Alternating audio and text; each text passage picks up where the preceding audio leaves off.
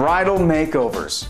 The process of planning a wedding can be exciting and stressful for the bride, but sometimes equally as stressful for the friends and family of the bride. Now, one way for everyone involved to have a fun and relaxing time is to have a spa and makeover day.